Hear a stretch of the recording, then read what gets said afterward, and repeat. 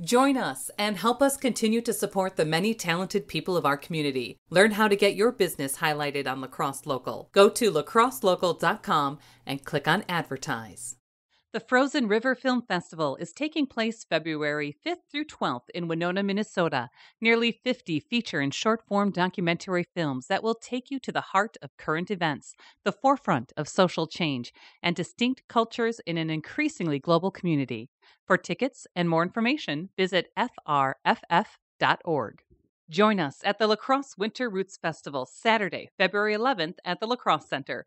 We'll celebrate Wisconsin favorites in music, cuisine, local beer, and spirits. Grab tickets at lacrosselocal.com.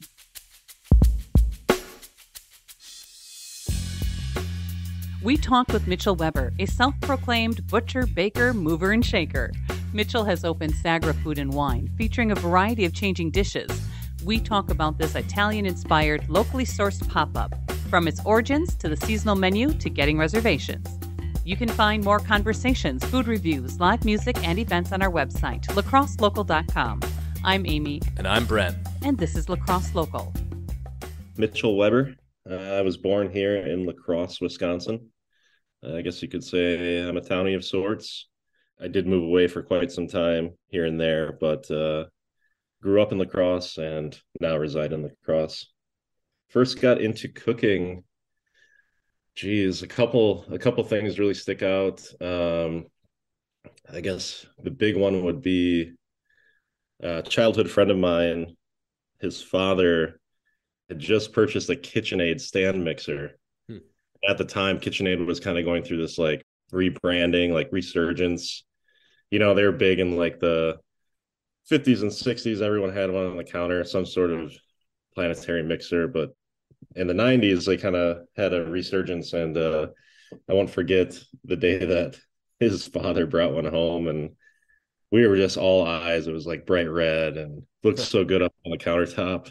And uh, we were very ambitious. What did we make? I think we tried to make pretzels and they were absolutely terrible.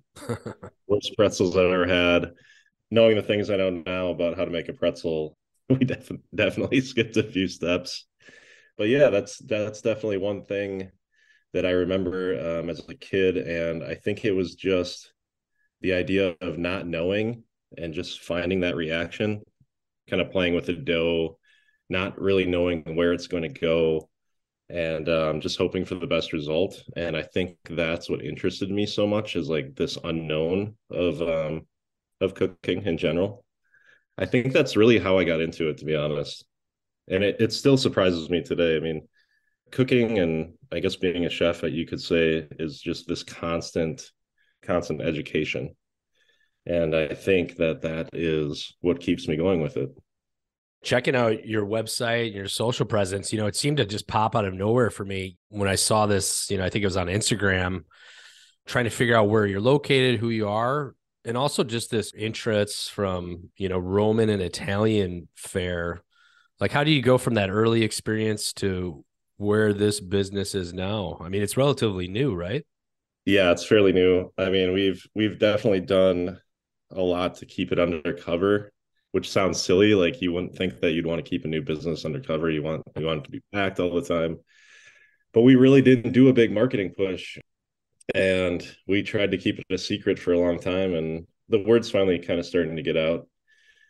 But it's had that exclusivity thing going on where, like you said, nobody knows we're there. And um, you walk into the space that you may have been in in the past and you're surprised at the transformation that it's kind of undergone yeah, as far as the Roman and Italian kick there, one of my first jobs here in La Crosse was at a place called Eduardo's.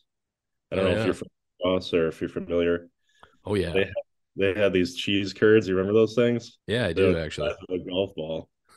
but yeah, I, I worked there and I just it's kind of like this romantic thing where when I think back about it, yeah, you miss some of the people and you miss the food, but it's really like when you'd walk in the back door five minutes before your shift and all you could smell was like the yeast from the dough proofing and you could smell the wood fired oven burning and the red sauce simmering like it was just this whole thing And when I look back, it's like that is kind of what grabbed a hold of me, I think.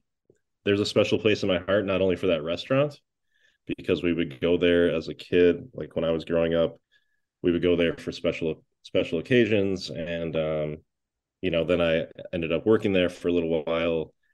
And I think there's just something about that spaghetti meatball kind of setting that I really love and miss. And we don't really have it in La Crosse right now.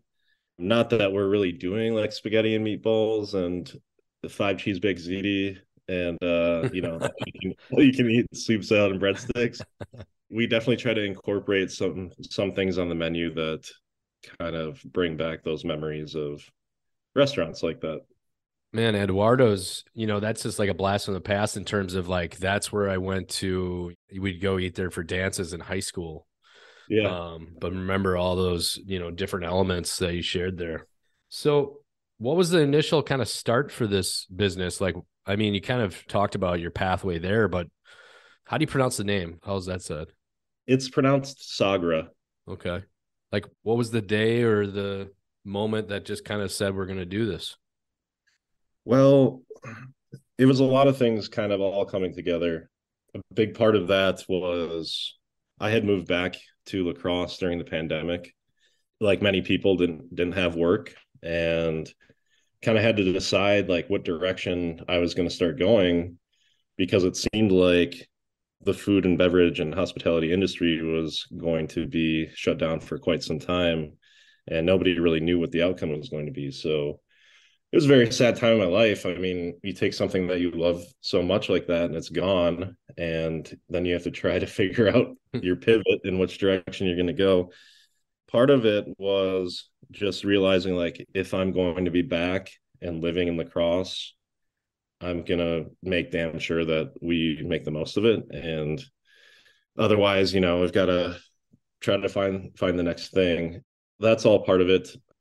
You know, some self fulfillment there. Like I just I was working jobs that I didn't really care for, making decent money and working with good people, but you know, you go into work every day and it's just like the same grind, not what you're used to. It's hard going from like one of your best jobs you've ever had to the very bottom, you know, feeling like every day's a drag. And uh, so I just needed a big change. And we were looking at a standalone building to put a restaurant in. We were vetting this space for a long time and it, it didn't really work out. And a friend of mine, uh, Chris Roderick, who owns Piggy's, he kind of approached me and said, you know, we did this remodel upstairs and we're not doing a ton of events right now.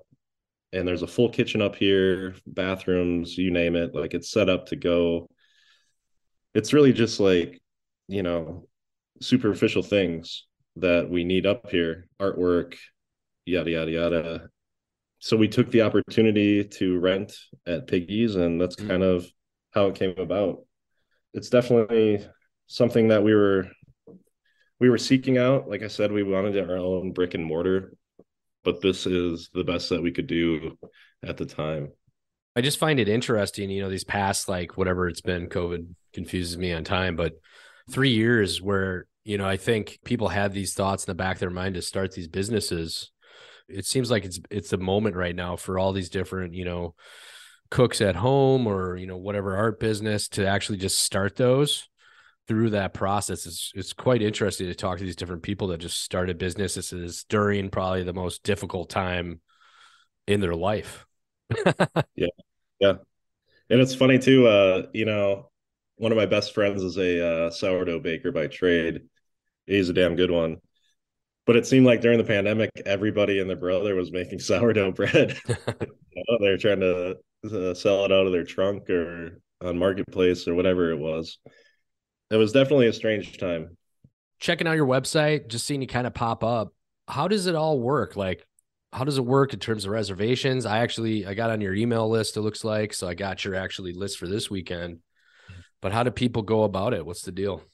It's a little different. I mean, we don't really have like we do a lot online. Um, I field most 99% of the reservations through email. It's kind of this uh this whole process where I don't really get our availability from our farmers till Sunday nights or Monday mornings. So what happens there is I get this availability, I get an idea of what they have, what I'm going to buy. I make the order, I write the menu based off of what we can get in, and then I post that menu to the website. I also send out a flyer to, as you said, uh, the email subscribers. I'm sure you got one this morning. And then people can either visit the website to make a reservation. I do have a phone number listed but yeah, we just we put the menu out about a week ahead of time. We open the reservations for Saturday and Sunday evenings. We tend to fill up pretty quickly. I mean, we've had a couple a couple slumps, but for the most part, we're we're pretty well booked by Thursday night or Friday night for the weekend. The second part of that is it's not super traditional in terms of oh we're going to go in at 7.15 and we're going to order like some appetizers and uh, a couple salads and then we might have some cocktails and then share some dessert. It's prix fixe menu so when you make that reservation with us you come in and you eat what we what we make for you that week. So it tends to be like five to six courses. Start usually starts with charcuterie and then heads into like something highlighting vegetables, which is our giardini section on the menu. And then we get into pasta or some kind of dumpling typically. Uh, we do make all of our pasta in house, egg noodles and extruded pasta, which is which is a pretty fun, pretty fun thing.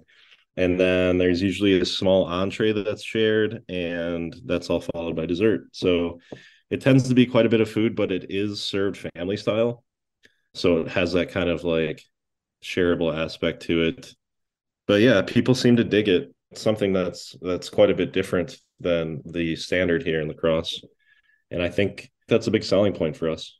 Just checking out again your website and you kind of touched on it. Locally sourced informs your menu. I'm sure the seasons, you know, you even have seasonally obsessed.